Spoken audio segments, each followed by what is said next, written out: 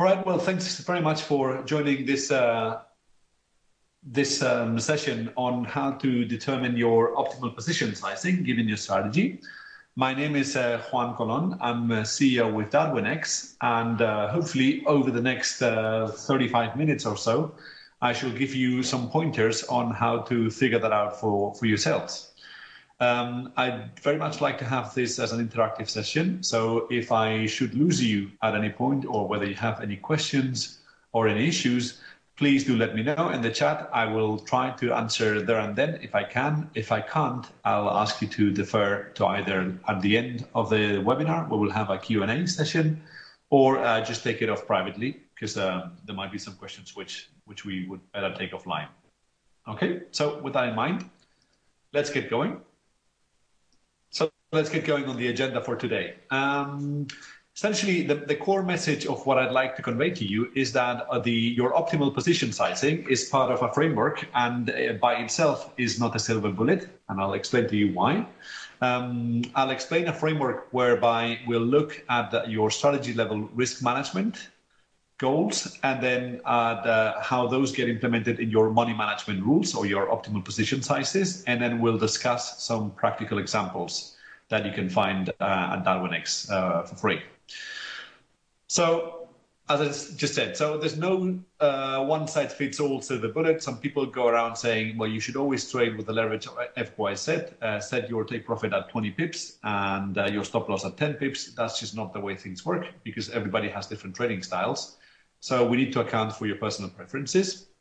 And uh, to get there, it's it's a bit of a personal discovery process. Uh, so we'll we'll try to do a very condensed uh, version of that today. We'll discuss how you should start by your personal risk appetite. What are your goals when you trade? How much you, are you okay? Uh, how much are you targeting in terms of wins, and how much are you okay losing?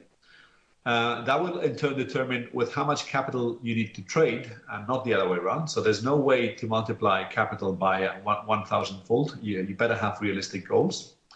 And then we'll discuss how the different degrees of freedom of a strategy, including the position size, get you to an optimal trade size. The most important lesson for today is that uh, you, you need to bear in mind the, the two levels of your risk management. The first one is your strategy level risk management goal, which we will summarize in uh, value at risk, the amount that you're okay losing the worst month every 20. And that, given your strategy, which you should hopefully already have, you should have a pretty fine way to trade and not still be found uh, finding it will translate into certain money management rules, including a trade level uh, size that uh, should be combined with your stop stop loss and take profit, the leverage with which you enter trades, and very importantly, for how long you stick in trades. Um, throughout the webinar, we will be using free tools available from Darwinex to anyone um, using an MT4 brokerage account. So the, the tools that I will present, you can use 100% for free just by uh, providing us with your investor password and uh, username from MT, MT4. And on that basis, your data will be automatically imported into the tools and uh, the outputs that we'll discuss will be available. We will never uh, email you or spam you for that, but we also happen to be a broker, which is very likely cheaper than most brokers and uh, is uh, has got a pretty good reputation. And also, you should know that we run a monthly contest where we pay our customers 6,000 euros for trading investably, including trading with uh, an adequate uh, trade, trade size. So, on to risk management. Uh, different people have different risk appetites. Some people want uh, low risk, low return strategies, and all their um, want is preserve the capital. Uh, there are other people who, who really go for high risk, high return, and uh, losing is not an issue to them. But the point is, different people have different goals. And the most important question is what loss comfortable taking uh, as you trade? Uh, and uh, there are different degrees of uncertainty, of course, when you when you're trading in your first day, a set of things can happen. You could have you know a positive day or a negative day. Over time, this would be this will compound and somehow compensate. Uh, obviously, over one week, more things could happen than in one day. So you could both make more on the top hand side and lose more in that one week. And then, of course, if you take that further and trade full time, eventually you will have spent, say, one month trading. And of course, in one month, more losses and more profits can accrue. And the question for, for you is how much you're okay losing the worst month every 20, because that is the first input into your uh, trade level management strategy. So different people will have different goals for this. Uh, for instance, if you had a goal uh, of risking 15% of your capital the worst month every 20, then you would have what we call a value at risk of, uh, say, 15%. And uh, different people trade with different values at risk. Let me show you the site at Darwinex. Now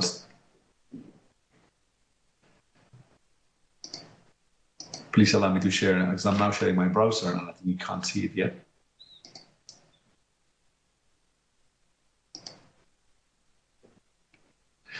Can people confirm if they, if they can now see my Google Chrome browser with Darwinex displayed on top?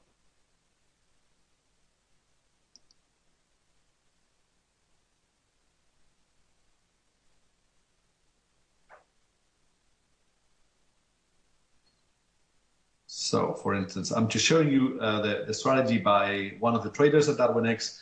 And uh, this trader, for instance, trades with a value at risk of about 10%, as you can see here, which means uh, in uh, the worst month every 20, he's expected to, to lose going forward 10% or more. If you want to know what your personal value at risk given your current strategy is, all you need to do, as I said, would be to sign up, create a username for free, and the, these would be one of the inputs that you would get here. So you would see here the value at risk with uh, which the strategy is, uh, is trading. So going back to our webinar, uh, the important thing for you to define before you even get can get to an optimal position um, optimal position size is for you to, to understand how much you stand to lose. For instance, if someone was trading with a value at risk of 20% and he had a capital of 10,000 and equity in his account of 10,000, then his risk appetite would be $2,000 per month, which is the product of these two. And, uh, and that's the kind of the, the, first thing you should figure out before you even start looking for an op optimal position size, because obviously it would be derived from this cannot be an, an into risk estimation, a word of caution. Um, obviously, there are two ways to trade. One is to trade uh, hoping that your average trade makes money, in which case you will get your money back and then some. some.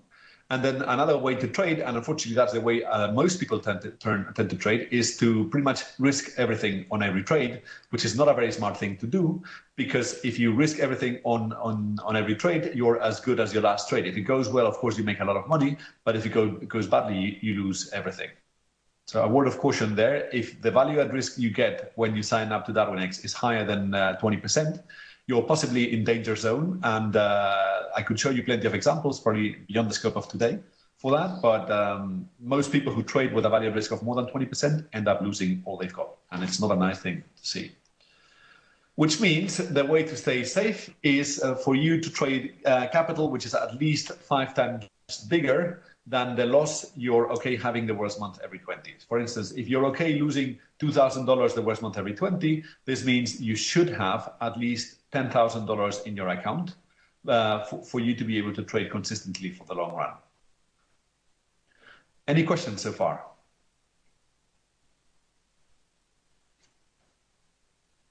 Okay, looks like we're still good. So that brings us, of course, to uh, to kind of landing all this into or how was capital calculated? So the capital is really the division of uh, two um, uh, $2,000 of risk appetite, which is the amount you're okay losing, by uh, the 20% uh, value uh, at risk, which gets you to the 10,000. So 10,000 times 20% would give you $2,000 of worst loss. If you're uh, planning on losing 2,000 and you're still trading with, say, uh, 2,000 of capital, that is uh, not a good idea because that will force you to lever up your trades significantly. And if you lever up your trades significantly, there is bound to be uh, there is bound to be a moment in the market, it could be non-farm payroll or something else, where the market moves so much that your highly levered trade is kicked out and it wipes your account with it. Uh, uh, it won't happen overnight because these events do not happen every day, but they do happen in a year, and eventually all the chickens come, come home to roost. In terms of uh, the, the, other question I had from Linda, why it's called risk appetite, well, it really depends on on the personal appetite for returns that you have. So obviously when you trade, you should know that there's there's no there's no such thing as risk-free returns. So if you want to say make uh, 70% per year, then you should be willing to put some amount at risk because otherwise you're not going to make 70% per year, regardless of how good your strategy is. And that's really your risk appetite. So the the trade-off is to know, and we'll we'll do some numbers later. But if you're planning on say making 70% per year, which is about uh, five percent or five and a half percent per per month, you should be willing to uh, lose 20% the worst month every 20, because otherwise there's no way you will return the 70%. You just need to take some so, some risk. Uh, and a silver bullet, and apologies for the non-natives out there, it's a silver bullet is like the the solution that solves all the problems. And uh, the the point I tried to make is that there is no such thing as a silver bullet. You you just have to. It's a process where you do trial and error until you converge on what's right for you, your personal risk appetite. Okay, so far so good. Okay, so with that intro, uh, the like main, main takeaways is that before you even can try to figure out what your optimal trade size is, you have to know what your monthly risk appetite is. Because if you don't know that, there's just no way to determine the optimal trade size. So uh, that, that's, I guess, the first point. And, and, the best way to, to figure out what your risk appetite is uh, would be to try to get an assessment of your monthly value at risk, which you could get, for instance, for free from uh, Darwinex. You sign up.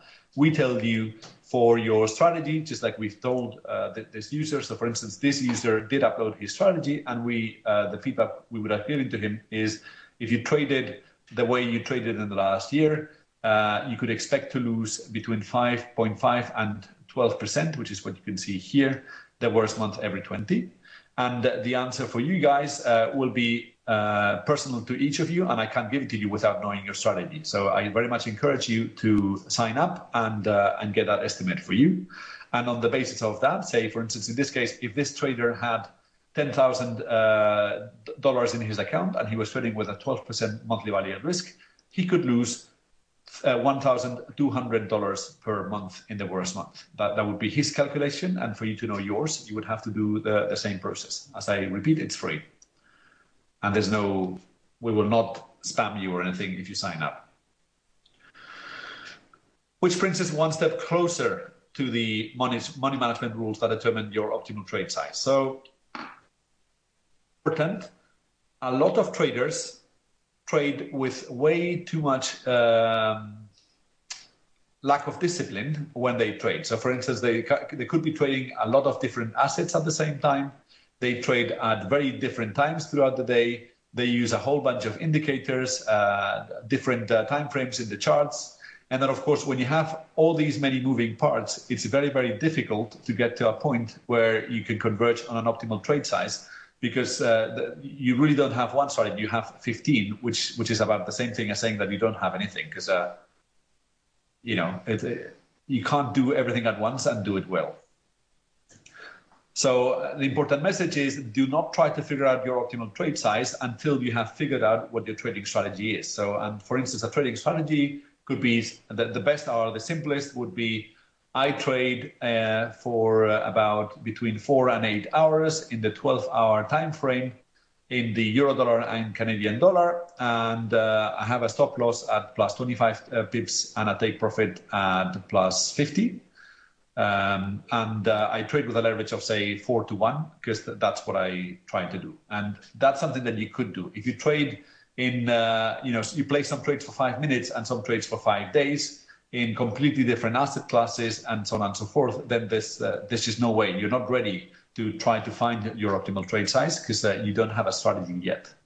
Okay, so with that caveat in mind, let's get going.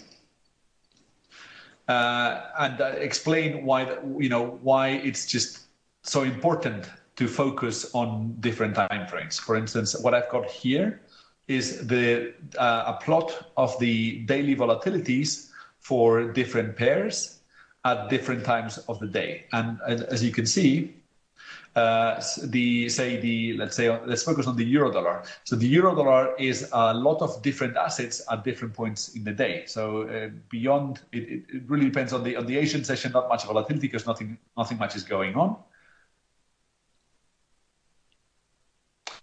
Uh, so there's a question here on what I said, what the stops should be. Um, I just made up the numbers. So those numbers are completely uh, possibly unrealistic. I just made them up. The, the point is you have to figure that for yourself, and I'll, I'll show you today how to do that uh, as we go along in the, in the webinar. The, the point is, though, that no one should tell you what your take profit should be. It's you who has to figure out for yourself, given your trading style and your trading strategy. Okay, so uh, the point I was making is be careful as you as you try to figure out your strategy when you pick at what times of the day you trade, because the, the volatilities of the market are wildly different. So, for instance, uh, at this point in time, the volatility could be about 10 times the volatility if you trade uh, about uh, 10 hours earlier. So you should factor that in into your um, strategy formulation process. And then, of course, even more important, this is you know very simple things like uh, wary of news releases. This is uh, the volatility of the of the market in the euro dollar, uh, slightly before and after a non-farm payroll. And as you can see here, the volatility spikes at the moment when the news are uh, released, and it continues to be quite high even for uh, kind of one more than a, one hour later. So that you have to figure out. If you're someone who trades the news you, your optimal trade size should be X. If you're not trading the news, then you can afford to take a lot more leverage because the, there will not be such mild spikes in the, in the market. Why is this important and why is this helpful? Well, if you really focus down to the, to the bits that allow you to be concentrated and, and get to a point where you're seeing if your strategy works or not, this will reduce your anxiety. It will allow you to see whether you're doing well or not doing well on your strategy. And once you see what's not working about the strategy, you can start optimizing, including the optimal trade size. And then when, when you come to formulating your optimal trade size, and I'll again I'll show you later how to do this, but the important thing to take into account is that uh, different strategies have different optimal trade sizes. So for instance, let me show you, uh, let's think of a strategy which places one trade per day or 21 trades a month, trades with a leverage of 10 to 1 for each of those trades and hangs on to those trades for one day, well, that strategy in the worst month every 20 could lose about 40% of its capital. If we talk another, about another strategy which places uh, about two and a half times the number of trades, and uh, trades with twice the leverage, but doesn't stay in the market for so long. Instead of one day, it stays for four hours. That's a comparable way to get to the same value at risk with completely different strategies. This one trades a lot more often in shorter time frames and still is as risky as the one above. Uh, by taking twice the leverage than this one. So the optimal trade size for this strategy and that strategy would be different, even though ultimately they would end up with the round about the same value at risk on a monthly basis. Or you could even take it further. If, if you just trade uh, in, in, in the RA timeframes, you could afford to take up to, say, 100 trades a month with a leverage of 381 and still have the same risk as, the, as the strategy above. What's the point I'm trying to make here? Well, the, the, the risk of your trades is linear in the number of trades. So if you take double the amount of trades in a given month and the trades are the same, then you'll take pretty much the, double the risk. And it's uh, and it scales by the square root of time. So if you're uh, if you're taking a trade for four hours, uh, then the risk of a, a trade for 24 hours, which is about six times longer, will be roughly uh, the square root of 24 over uh, 4, which is the square root of 6, which would be 2 and a half times. So if you take the trade uh, for uh, 24, 24 hours with the same leverage as a trade of uh, 4 hours, then you're taking two and a half times the risk. And that's something you need to figure out when you're, when you're defining your optimal position size. Now you're probably saying, okay, this is all very nice. Uh, so how about some practical examples here? Well, before we get into that, I'd just like to show you what the differences can be by trading a strategy with a, with one amount of risk and another amount of risk. In the, on the left-hand side of the, of the slide,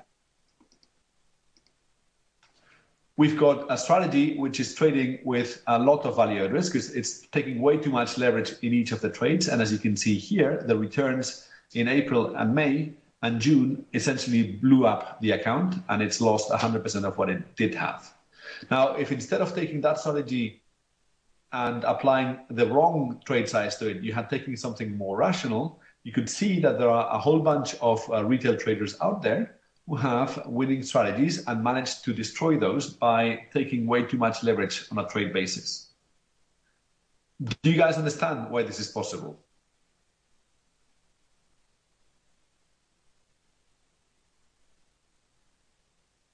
Yeah. So, but this is very, very important. So it could very well be if, if you have had uh, like a bad results for a while, it could be that you're thinking that your timing is wrong, that you're kind of entering the time at the wrong, the market at the wrong times, and perhaps that's not at all the issue. The issue could very well be that you're trading with way too much leverage, and by trading with less leverage, the market wouldn't have kicked you out of the positions, and you would have made money.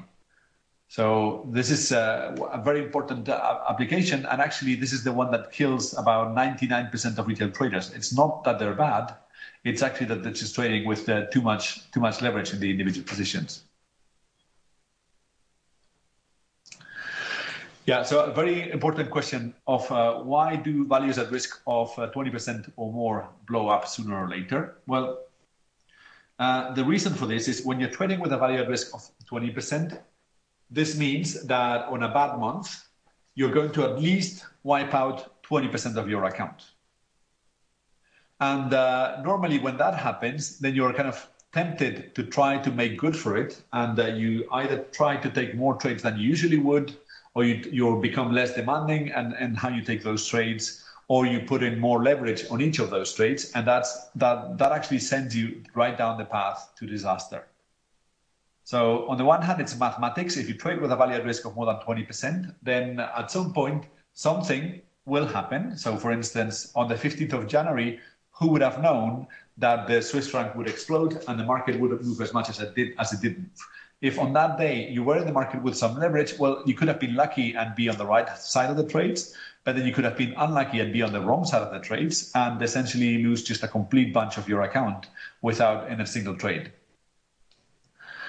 Right. And then your question is, which is a totally right question, is what risk per trade means a value risk of 20? And uh, that's exactly what I'm going to show you now. So I'm going to show you the tools at Darwinex that allow you to figure that out for yourself. So let's start with the particular strategy.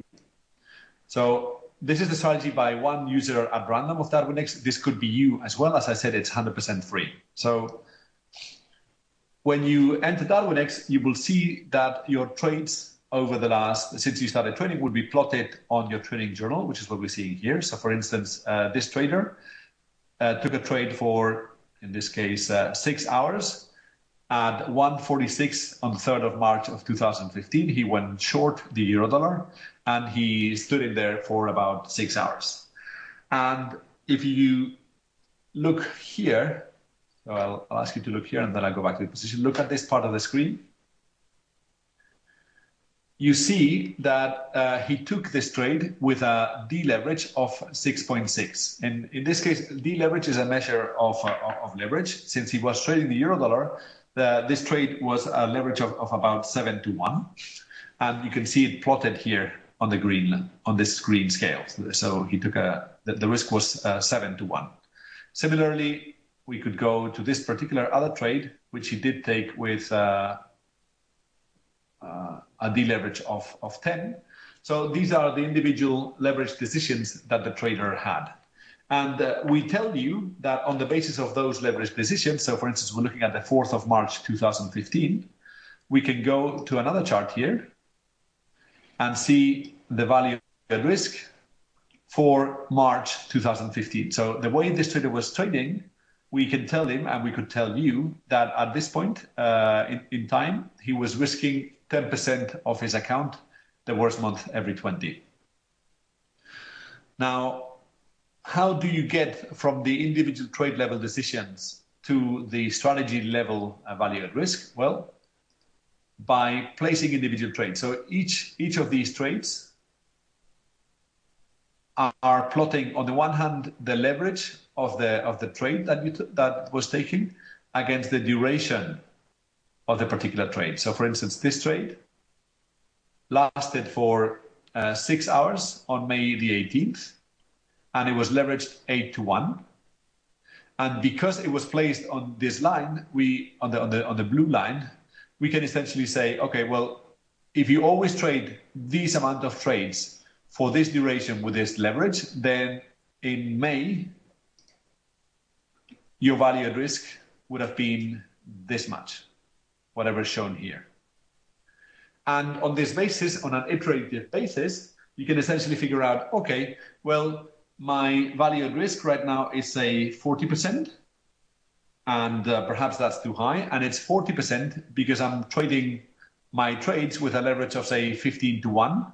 So if I want to get to a level where I'm risking uh, half that without changing anything else uh, in my strategy other than the trade level uh, leverage, then all I need to do is just uh, do that. It's half the leverage with which I enter my trades, and I will have half my risk. And over time, if I always take my trades with the, the optimal position size, I will have converged on uh, the my personal optimal position size. Did that make sense?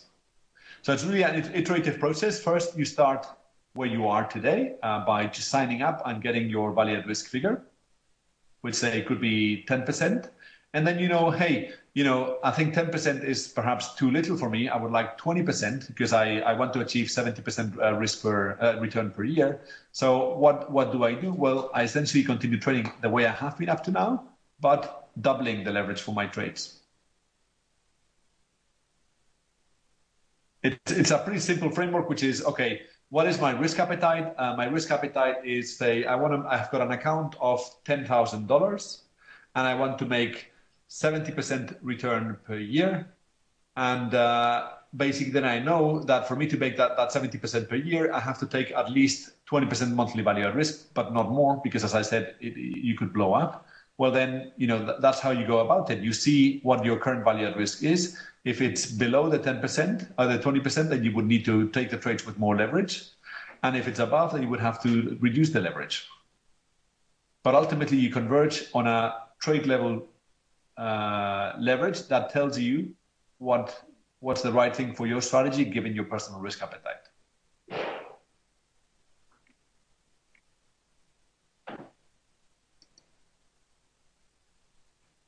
Do you guys have questions about this now?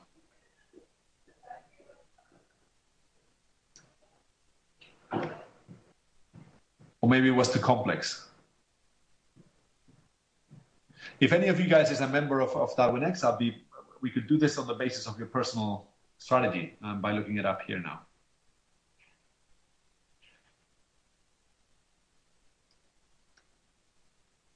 Okay, so looks like no one is, but that's pretty much the, the process. So the process is to figure out what your current value at risk is, here and then see how your each of your individual trades has been taking what, what type of risk. If you're above the target then you should reduce the risk the, the leverage and if you're below the target you should increase it. That's it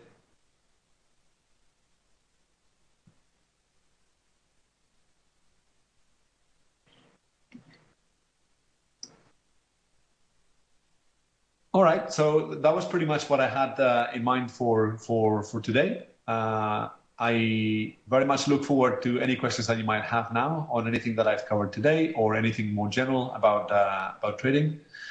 So how, the, how are the values at risk calculated? Well, uh, they are actually done on a very simple basis. What we do is we take, so let, us say uh, this was the strategy, and we know what the, the trader did over the last month, each of these trades. What we do is we take uh, a, a, lot of simulations of, um, of, of this sequence of trades. So on day one, you take a trade with a leverage of 20 to 1. On day two, you take a, a trade of, with a leverage of uh, 30 to 1, whatever it is that the trader did. And then you keep doing that and see what could have happened given how the market moves. And at the end of that, you see a lot of scenarios where uh, either the trader has won or he has lost uh, through, through, simulations. And then we get to the to the value at risk by looking at the worst what what did happen the worst month every 20 and on that basis, that you, you go about and you read the VAR and, uh, and see the, the final result. That's essentially the, the way it's done. It's, you simulate a lot of things that could happen in the future, and you, you look at a certain position in the, in the distribution. Like doing it, let's go back here. The process would be, we would plot all the outcomes over one month of trading without risk, and then we would look at the worst 5%, and this would be the line that would tell us what the loss is in the worst month every 20, the 5% probability interval. If you guys know statistics, this is just like the, the probability density function. Yeah, so you know, Mr. C, if you if you want to get in touch, for instance, you can uh, just sign up to Darwinex, uh, upload your strategy, and then I can explain exactly to you how that how that's done. No problem. Any more questions, guys? Okay. Well, looks like uh, it, it's all either so confu- you're also confused that you don't dare asking questions, which I hope it's not the case, or you for um, I've explained everything so perfectly that it's all clear. So yeah, thank you so much, and I look forward to hearing from any of you guys if you have questions. My personal email address is juan at darwinex.com, and I would be very uh, happy to take your feedback for this. All right, take care. Bye bye.